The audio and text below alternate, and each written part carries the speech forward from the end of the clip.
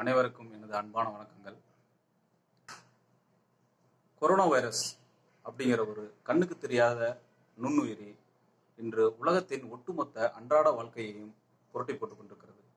அதனால் மக்களிடையே வைரஸ் அப்படின்னா என்ன அப்படிங்கிறத பற்றி ஒரு தேடல் ரொம்ப அதிகமாக இருக்கு. வைரஸ்னா என்னன்னு தெரிஞ்சுக்கணும்னு மக்கள் ரொம்ப ஆர்வமாக இருக்காங்க. பல்வேறு செய்திகள் வைரஸ்களை பற்றி மக்கள் படிக்கிறார்கள் டிவியில் பார்க்குறாங்க. பொதுமக்களிடையே கேட்டு தெரிந்து கொள்கிறார்கள். தங்களுக்கு தெரிந்தவர்களிடம் தெரிந்து கொள்கிறார்கள். அந்த வகையில் நுண்ணுயிரியல் துறையில் முதுநிலை பட்டமும் முனைவர் பட்டமும் பெற்ற என்னாலாகிய ஒரு சிறிய முயற்சியாக வைரஸ்னா என்ன அப்படிங்கிறத எளிமையாக இங்கே கொடுக்கறதுக்கு முயற்சி பண்ணுறேன்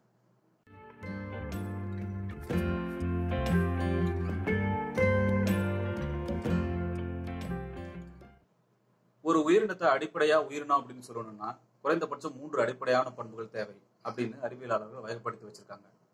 முதலாவது பண்பு என்னன்னு பார்த்தீங்கன்னா அது இனப்பெருக்கம். அதாவது ஒரு உயிரினம் சுயமாகவே தனது சந்ததியை நீட்டித்துக் கொள்ளும் திறன் பெற்றிருப்பது என்பதுதான் இனப்பெருக்கம் என்று சொல்லப்படுகிறது. இனப்பெருக்கம் செய்ய தகுதியான உயிரினங்கள் தான் உயிரினங்கள் என்று சொல்லப்படும். சுயமாக இனப்பெருக்கம் செய்யணும். தனது எண்ணிக்கையை பெருக்கிக் கொள்வது சந்ததியை நீட்டித்துக் கொள்வது மரபு பண்புகளை கடத்துவது போன்ற அனைத்தும் இனப்பெருக்கத்தில் அடங்கும். ஸோ ஒரு உயிரினம் சுயமாகவே இனப்பெருக்கம் செய்யும் தகுதி பெற்றிருக்க வேண்டும். இரண்டாவது அது தனது வளர்ச்சிதை மாற்றங்களை சுயமாகவே நடத்தி கொள்ள வேண்டும். அதாவது தனக்கு தேவையான இந்த இனப்பெருக்கம் போன்ற செயல்களுக்கு தேவையான சக்திகளை தாமாகவே அல்லது பிற உணவுப் பொருட்களில் இருந்தோ உற்பத்தி செய்யக்கூடிய திறன் பெற்றிருக்க வேண்டும். உதாரணத்துக்கு எடுத்துக்கிட்டிங்கன்னா தாவரங்கள்லாம் ஒளிச்சேர்க்கை செய்து அதன் மூலமாக தனக்கு தேவையான உணவுப் பொருட்களையும் தனக்கு தேவையான சத்து பொருட்களையும் அது உருவாக்கி கொள்கிறது. மனிதன் போன்ற உயிரினங்கள் தாவரங்களையும் பிற விலங்குகளையும் சார்ந்திருந்து அதிலிருந்து உணவு எடுத்துக்கொண்டு நமக்கு தேவையான சத்துக்களையும் பிற தேவைகளையும் நம்ம பூர்த்தி செய்கிறோம். இதுதான் வளர்சிதை மாற்றம் அப்படிங்கிறது. நம்மளால நம்மளோட சத்து பொருட்களை உருவாக்கி கொள்ள முடியும். வளர்சிதை மாற்றத்தை நாமே நிர்ணயித்துக் கொள்ள முடியும். இது வந்து இரண்டாவது பண்பு உயிரினத்துக்கு தேவையானது. மூன்றாவது முக்கியமான பண்பு என்னன்னு பார்த்தீங்கன்னா வளர்ச்சி. வளர்ச்சி. அப்படிங்கிறது ஒரு உயிரினத்துக்கு மிக அடிப்படையாக தேவையான ஒன்று. உதாரணத்துக்கு மனிதன் எடுத்துக்கிட்டிங்கன்னா கருவானது ஒரே ஒரு செல்லு தான் அந்த ஒரே ஒரு செல்லு தான் பத்து மாதங்களில் ஒரு குழந்தையா வளர்ச்சி அடையுது. பல்வேறு உருமாற்றங்கள் மூலமாக பல்வேறு செல் செயல்பாடுகள் மூலமாக ஒரு முழுமையான குழந்தையாக உற்பத்தி ஆகிறது. அந்த முழுமையான குழந்தை தான் காலப்போக்கில் ஒவ்வொரு வருடமும் பல்வேறு வகையான வளர் வளர்ச்சிகளை அடைகிறது. குழந்தை பருவத்திலிருந்து நம்ம பெரியவனாகிற வரைக்கும் மூளை வளர்ச்சியிலிருந்து செல் வளர்ச்சியிலிருந்து உடல் வளர்ச்சியிலிருந்து எல்லா வகையிலும் அந்த ஒரே ஒரு செல்லிலிருந்து தான் அத்தனை வளர்ச்சிகளும் உற்பத்தி ஆகுது. இதுதான் வளர்ச்சி அப்படின்னு சொல்றது. ஸோ அடிப்படையில் ஒரு உயிரினத்தை உயிரினம் அப்படின்னு சொல்லணும்னா அது சொந்தமாக இனப்பெருக்கம் செய்யணும் சொந்தமாக வளர்ச்சி மாற்றம் செய்யணும் சொந்தமாக வளர்ச்சி அடையணும். ஆனால் நம்ம வைரஸ் எடுத்துக்கிட்டிங்கன்னா இந்த மூணையுமே அது சொந்தமாக செய்ய முடியாது. ஆனால் அதனால தான் வைரஸ்களை உயிரினம் அப்படின்னு வகைப்படுத்துவதா அல்லது வேண்டாமா என்பது இன்னமும் ஒரு கேள்விக்குறியாகவே நீடிக்கிறது. நீங்க கேட்கலாம் வைரஸ்கள் இந்த மூணையும் சொந்தமா செய்ய முடியலன்னு சொல்றீங்க. ஆனா வந்து வைரஸ்கள் பெரும்பாலான வியாதிகளை பரப்புது எப்படி அப்படின்னு சொல்லி. அறிவியலாளர்கள் இந்த வைரஸை ஒட்டுண்ணி அப்படிங்கிற வகையில சேர்க்கிறாங்க. அதாவது ஆப்ளிகேட்டரி இன்ட்ராசெல்லுலார் பேரசைட் அப்படின்னு டெக்னிக்கலா சொல்றாங்க. ஆப்ளிகேட்டரினா கட்டாயமா செல்லுக்குள்ள மட்டும்தான் இது உயிரோட இருக்கும். அதாவது ஏதோ ஒரு செல் அதுக்கு தேவை. வைரஸ்கள் மனிதர்கள் மட்டும் தாக்குவதில்லை. வைரஸ்கள் தாவரங்களை தாக்குகின்றன. வைரஸ்கள் விலங்குகளை தாக்குகின்றன. வைரஸ்கள் பாக்டீரியாக்களை தாக்குகின்றன. வைரஸ்கள் பூஞ்சைகளை தாக்குகின்றன. வைரஸ்கள் ஆல்கே முதலான பாசி போன்ற பொருட்களையும் தாக்குகின்றன. முதலில் வைரஸ்களுக்கு ஒட்டுண்ணி என்ற அடிப்படையில் அவைகளுக்கு ஏதாவது ஒரு செல் தான் அவசியமா தேவை. அதாவது அவைகளுக்கு ஹோஸ்ட் அப்படின்னு சொல்லக்கூடிய ஒரு விருந்து கொடுக்கக்கூடிய செல்கள் அதுகளுக்கு தேவை. அந்த ஹோஸ்ட் செல் அப்படின்னு சொல்லக்கூடிய விருந்தளிக்கும் செல்கள் இருந்து அதிலிருந்து தான் வைரஸ்கள் தமக்கு தேவையான எல்லாத்தையும் பெற்று பெற்றுக்கொள்கின்றன அந்த ஹோஸ்ட் செல் மூலமாகவே தனது இனப்பெருக்கத்தை நிகழ்த்தி கொள்கின்றன. ஹோஸ்ட் செல்கள் மூலமாகவே தனது வளர்ச்சிதை மாற்றத்தை நிறைவேற்றிக் கொள்கின்றன. ஹோஸ்ட் செல்கள் மூலமாகவே தனது வளர்ச்சியையும் எண்ணிக்கையையும் பெருக்கிக் கொள்கின்றன. இன்னும் நுணுக்கமாக சொல்ல வேண்டும் என்றால் தாவர செல் விலங்கு செல் பாக்டீரியா போன்ற செல்களோட படங்களை பள்ளி குழந்தைகள் பள்ளி பருவத்தில் எல்லாரும் பார்த்துருக்கலாம். அதில் பார்த்தீங்கன்னா ஏகப்பட்ட செல்லுக்கு உள்ளார உள்ள இருக்கக்கூடிய பல்வேறு உறுப்புகள் இருக்கின்றன. உதாரணத்துக்கு மைட்டோகான்ட்ரியா குளோரோபிளாஸ்ட் ரைபோசோம் இது மாதிரியான ஏகப்பட்ட உள் உறுப்புகள் நிறைய இருக்கு செல்லுக்குள்ளாரையே. இது எதுவுமே வைரஸ்க்கு கிடையாது. வைரஸ் அப்படிங்கிற உயிரினத்தோட அமைப்பு பார்த்தீங்கன்னா மிக முக்கியமாக அதில் மரபு பண்புகளை கடத்தக்கூடிய டிஎன்ஏ அல்லது ஆர்என்ஏ என்ற நியூக்ளிக் அமிலங்கள் இருக்கும். அந்த நியூக்ளிக் அமிலங்களை மரபு பண்புகளை பாதுகாத்துக் கொள்வதற்காக ஒரு கொழுப்பு மற்றும் புரதத்திலான ஒரு உரை மேல் பகுதியில் இருக்கும். இது இரண்டு தான் வைரஸ்களிடம் பொதுவாக காணப்படக்கூடியது. இது ரெண்டும் இருந்தால்தான் அது வைரஸ் என்று அழைக்கப்படும். இன்னும் ஆச்சரியப்படத்தக்க வகையில் ஒன்று இருக்கு என்னன்னா இந்த இரண்டும் தனித்தனியாகவே நோய்களை உண்டாக்கக்கூடிய தன்மையும் சில வைரஸ்களில் இருக்குது. அதாவது வெறுமனே புரதம் மட்டுமே சில நேரங்களில் நோயை உண்டாக்குது. அப்படியான காரணிகளுக்கு பெயர் வந்து பிரியான் அப்படின்னு சொல்றாங்க. விரியாய்டு அப்படின்னா வெறுமனே நியூக்ளிக் அமிலங்கள் மட்டுமே அதில் இருக்கும். டிஎன்ஏ அல்லது ஆர்என்ஏ மட்டும் இருக்கும். அதுல புரத உரையோ அல்லது கொழுப்பு உரையோ பாதுகாப்பு இருக்காது. ஆனாலும் அது வியாதியை உண்டு பண்ணும்.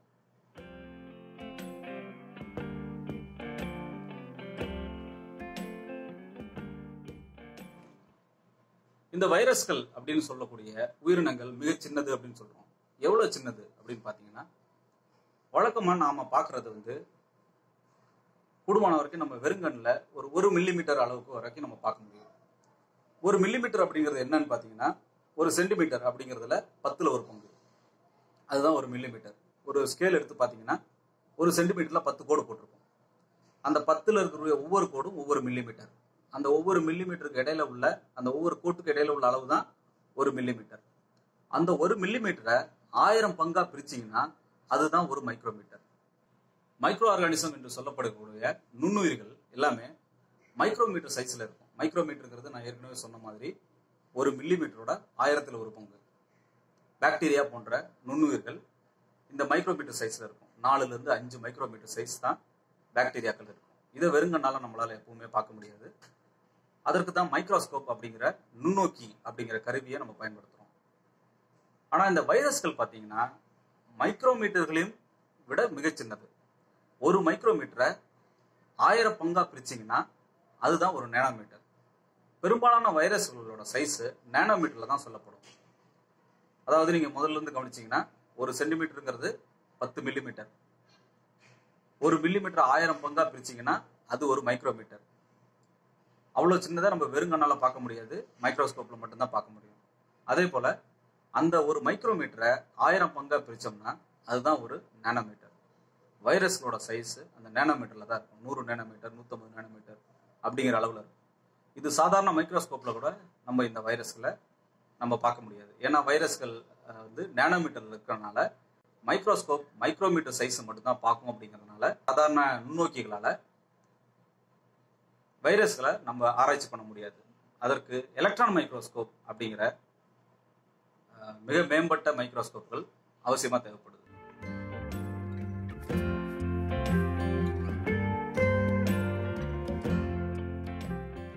வைரஸ்கள் ஒரு செல் இல்லாம உயிர் வாழ முடியாது. ஒரு செல் இல்லாம வைரஸ்களால வளர்ச்சி அடைய முடியாது. ஒரு செல் இல்லாம வைரஸ்கள் வளர்ச்சி மாற்றம் செய்ய முடியாது அப்படிங்கிறத பார்த்தோம். அதே போல வைரஸ்கள் பாக்டீரியா போன்ற நுண்ணுயிர்களோட ஆயிரம் மடங்கு மிகச்சிறியவை அப்படிங்கிறதையும் நம்ம பார்த்தோம். இப்போ இந்த வைரஸ்களோட முக்கியத்துவம் அதாவது இந்த வைரஸ்கள் என்னென்னலாம் செய்யுது அப்படின்னு பார்க்கலாம். பெரும்பாலும் நமக்கு தெரிஞ்ச வைரஸ்கள் எல்லாமே நோய்களை உண்டாக்கக்கூடியதா இருக்கின்றன. தாவரங்களுக்காக இருக்கட்டும் விலங்குகளாக இருக்கட்டும் விலங்குகளுக்காக இருக்கட்டும் மனிதர்களுக்காக இருக்கட்டும் வைரஸ்கள் பெரும்பாலானவை நோய் உண்டாக்கக்கூடியதாக இருக்கின்றன. அதனால்தான் வைரஸ்களை தீ நுண்மிகள் அப்படின்னு சொல்றாங்க. அதாவது தீமை செய்யக்கூடிய நுண்ணுயிர்கள் அப்படிங்கிற ஒரு நோக்கத்துல அப்படி சொல்றாங்க. ஆனா எல்லா வைரஸ்களுமே மனிதர்களுக்கோ விலங்குகளுக்கோ தீமை உண்டாக்கக்கூடியன அல்ல.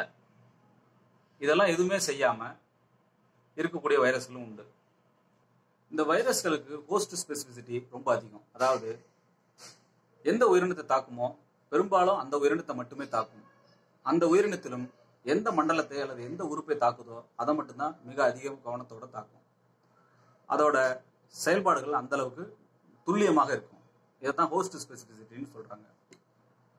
உதாரணத்துக்கு பார்த்தீங்கன்னா இந்த சார்ஸ் கொரோனா வைரஸ் எடுத்துக்கிட்டிங்கன்னா இது வந்து நுரையீரல் போன்ற சுவாச மண்டலங்களில் தாக்கக்கூடிய ஒரு வைரஸ் அதனால இது சுவாச மண்டலத்தோடு தொடர்புடைய மூக்கு வாய் கண் போன்றவற்றின் வழியாகத்தான் இந்த வைரஸ் உள்ளே நுழையும்.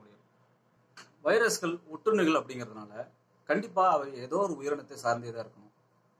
சில வைரஸ்கள் அந்த உயிரினத்தை அழித்து தான் தனது சந்ததியை பிரித்து பெருக்கிக் கொள்கின்றன. அவை லைட்டிக் வைரஸ் அப்படின்னு சொல்றாங்க. அதாவது ஒரு உயிரினத்தை கொன்று தான் அந்த உயிரினத்தை செல்ல கொன்று தான் தன்னோட சந்ததிகளை அதை பெருக்கிக் கொள்கின்றன. அப்படியான வைரஸ்கள் லைட்டிக் வைரஸ்ன்னு சொல்றாங்க. இன்னும் சில வைரஸ்கள் தேவையில்லாமல் இந்த ஹோஸ்ட் செல்லை அழிக்காம அதாவது இந்த நமக்கு உணவு கொடுக்கக்கூடிய செல்களை அழிக்காமல் அந்த உயிரினத்துக்கூடயே சேர்ந்து வாழ்கின்றன. அது வந்து லைசோஜெனிக் வைரஸ்னு சொல்றாங்க. இது ரெண்டும் இரண்டு விதமான வைரஸ்கள்.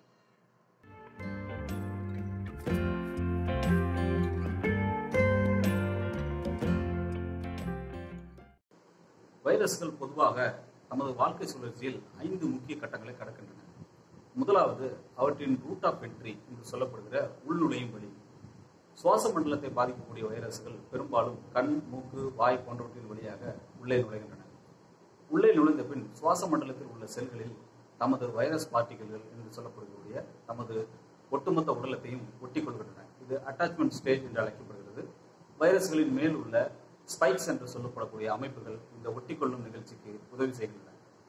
இந்த ஒட்டிக்கொண்ட பின் வைரஸ்கள் போஸ்ட் செல் என்று சொல்லப்படுகிற இலக்கான செல்களின் மேல் உள்ள பாதுகாப்பு உரைகளை அகற்றிக்கொண்டு தனது நியூக்ளிக் அமிலங்களை உள் செலுத்துகிறது டிஎன்ஏ வைரஸாக இருந்தால் டிஎன்ஏவையும் ஆர்என்ஏ வைரஸாக இருந்தால் ஆர்என்ஏவையும் உள்ளே செலுத்துகிறது. உள்ளே சென்ற அந்த நியூக்ளிக் அமிலங்கள் அங்கே உள்ள குரோமோசோம்களில் போஸ்ட் செல்களில் உள்ள குரோமோசோம்களில் தமது தம்மை இணைத்துக் கொள்கின்றன. இவ்வாறு இணைத்துக் கொள்வதன் மூலம் அவை போஸ்ட் செல்களின் குரோமோசோம்களை ஆக்கிரமித்துக் கொள்கின்றன.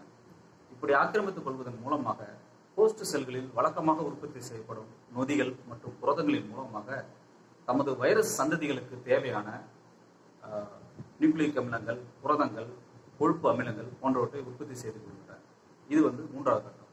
நான்காவது கட்டமாக மெச்சுரேஷன் என்று சொல்கிறார்கள். மெச்சுரேஷன் என்றால் இவ்வாறு உற்பத்தி செய்யப்பட்டுள்ள நியூக்ளிக் அமிலங்கள் புரத வகைகள் கொழுப்பு அமிலங்கள் போன்றவற்றை கொண்டு வைரஸ்கள் தமதுக்கு உரிய அந்த அமைப்பை உருவாக்கிக் கொள்கின்றன. அதாவது ஸ்ட்ரக்சர் என்று சொல்லக்கூடிய அந்த அமைப்பை உருவாக்கிக் கொள்கின்றன அதாவது ஒவ்வொரு இப்போ இந்த சார்ஸ் கோவி டூ வைரஸ் அப்படின்னு எடுத்துக்கிட்டோம்னா அந்த வைரஸில் ஒரு நியூக்ளிக் அமிலம் இருக்குது ஒரு ப்ரோட்டீன் கேப்சிட் இருக்குது அதுக்கு மேலே ஸ்பைக்ஸ் இருக்குது ஸோ இந்த மாதிரியான அமைப்புகளை மெச்சுரேஷன் ஸ்டேஜில் உருவாக்கி கொள்கின்றன மெச்சுரேஷன் என்று சொன்னோமானால் இந்த வைரஸ் வந்து புதிய செல்களை இன்ஃபெக்ட் பண்ணக்கூடிய கெப்பாசிட்டி அடைந்து விட்டது என்று அர்த்தம். அதாவது புதிய செல்களில் போய் நோயை உண்டாக்கக்கூடிய தன்மையை பெற்றுவிட்டன என்று அர்த்தம். இவ்வாறு மெச்சுரேஷன் அடைந்த பிறகு வைரஸ்கள் அந்த ஹோஸ்ட் செல்கள் என்று சொல்லக்கூடிய இலக்கான செல்களை அழித்து கொண்டு வெளியே வருகின்றன. ஆக ஒவ்வொரு வை- வைரஸின் வாழ்க்கை சுழற்சியிலும் இந்த ஐந்து நிகழ்ச்சிகள் தொடர்ந்து நடைபெற்றுக் கொண்டே இருக்கின்றன. இந்த ஐந்து நிகழ்ச்சிகள் நடைபெறும் வரை தொடர்ந்து நடைபெறும் வரை வைரஸ்கள் உயிரோடு உள்ளதாக கருதப்படுகின்றன.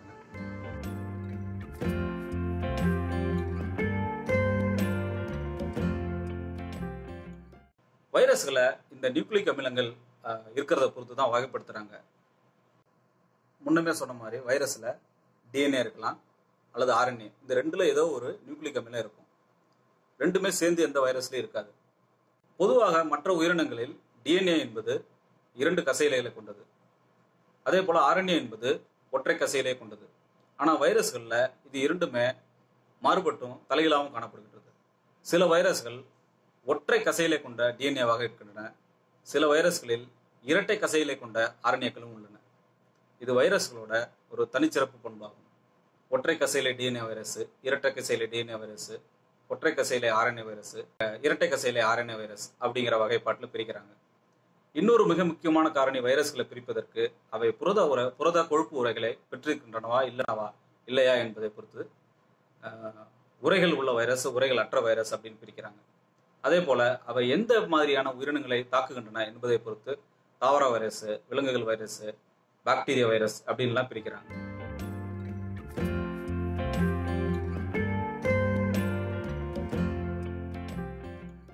வழக்கமா புதுவெளியில நாம கேள்விப்படுகிற பெரும்பாலான வைரஸ்கள் ஏதோ ஒரு வகையில ஏதோ ஒரு வியாதியோட தொடர்பு கொண்டு தொடர்பு படுத்தி இருக்கின்றன பெரும்பாலான வைரஸ்களை நாம நோய் உண்டாக்கக்கூடிய வைரஸ்கள் என்பதாகத்தான் அறிந்து வைத்திருக்கிறோம். ஆனால் வைரஸ்கள் தான் இந்த பூமியில மிக அதிக எண்ணிக்கையில் வாழக்கூடிய உயிரினங்கள். ஒரு கணக்கீட்டில் என்ன சொல்றாங்க அப்படின்னா இந்த உலகத்தில் இருக்கக்கூடிய மொத்த வைரஸையும் ஒட்டுமொத்தமா அடுக்கி ஒரு குழா போல நீட்டித்து கொண்டு போனோம்னா அது முடிவடைகிற இடத்துக்கு போறதுக்கு நமக்கு இருநூறு ஒளியாண்டுகள் ஆகும்னு சொல்றாங்க. ஒட்டுமொத்த பிரபஞ்சத்தில் எத்தனை நட்சத்திரங்கள் இருக்கோ அத்தனை நட்சத்திரங்களை விட முப்பது லட்சம் மடங்கு அதிகமாக வைரஸ்கள் இருக்கு அப்படின்னு சொல்றாங்க. ஒரு ச பத்து போட்டு பக்கத்துல முப்பத்தி ரெண்டு சைபர் போட்டால் எத்தனை நம்பர் வருமோ அத்தனை அளவுக்கு நம்மகிட்ட வைரஸ் இருக்குன்னு சொல்றாங்க. நமக்கு இதுல தெரிஞ்ச வைரஸ்கள் பெரும்பாலும் தாவரங்கள் விலங்குகள் மனிதர்கள் போன்றவர்களுக்கு வியாதியை உண்டு பண்ணக்கூடிய வைரஸ்கள் ஆனா மிக பெரும்பாலான எண்ணிக்கையிலான வைரஸ்கள் கடல் போன்ற நீர் வாழிடங்களில் அதிகம் காணப்படுகின்றன. அந் அவை மனிதர்கள் போன்ற பெரிய விலங்குகளுக்கு அல்லது தாவரங்களுக்கு குறிப்பிடத்தக்க வியாதிகளை உண்டு பண்ணுறது அவையெல்லாம் பாக்டீரியா ஆல்கே போன்ற நுண்ணுயிர்களை சார்ந்திருந்து தனது வாழ்க்கையை நடத்திக் கொள்கின்றன. வைரஸ்கள் அப்படின்னால எல்லாமே வியாதியோடு மட்டும்தான் தொடர்பு படுத்தப்பட்டிருக்கா அப்படின்னா இல்லை. ஏன்னா அந்த வைரஸ்கள் உங்களுக்கே தெரியும் ஒற்றுணிகள் ஒட்டுண்ணிகள் அப்படின்னு சொல்லியிருக்கோம். நிறைய வைரஸ்கள் எந்த ஒற்றுணி எந்த வகையான உயிரினத்தை சார்ந்திருக்கின்றனவோ அந்த உயிரினத்தை அழித்து தான் தனது சந்ததியை எண்ணிக்கையை பெருக்கிக் கொண்டு வெளியே வருகின்றன.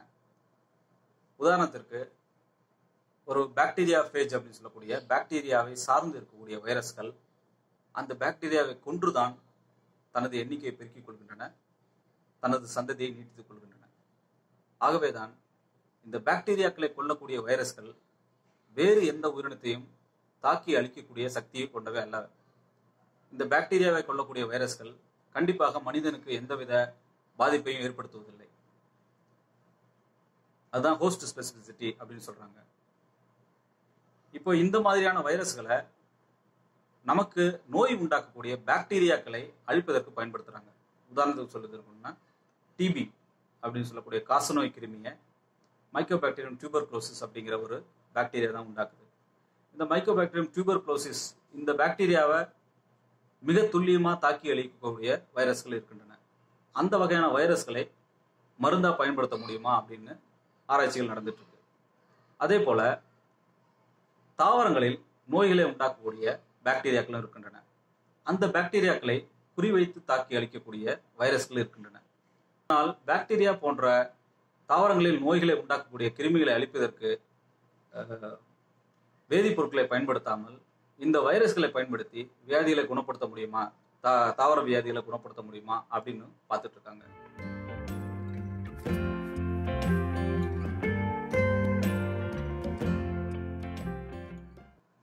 வைரஸ்களும் இயற்கையோட ஒரு அங்கம். வைரஸ்கள் வந்து பல்லாயிரக்கணக்கான வருடங்களாக இந்த பூமியில தான் வாழ்ந்துட்டு வருகின்றன.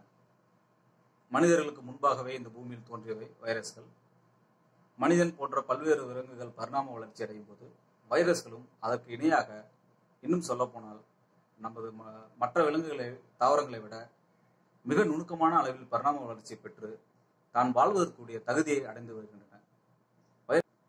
வைரஸ்கள் மிகச்சிறிய அளவில் இருப்பதனாலையும் அதோட மரபு பண்புகளாகிய டிஎன்ஏ அல்லது ஆர்என்ஏ மிக குறைந்த நீளமே இருப்பதனாலையும் அவை மிக எளிதில் சடுதி மாற்றம் அதாவது மியூட்டேஷன் அப்படின்னு ஒரு நிலையை அடைகின்றன. அந்த மாற்றத்தை அடைவதனால இந்த வைரஸ்கள் தன்னோட பண்புகளை அடிக்கடி மாற்றிக்கொண்டே இருக்கின்றன.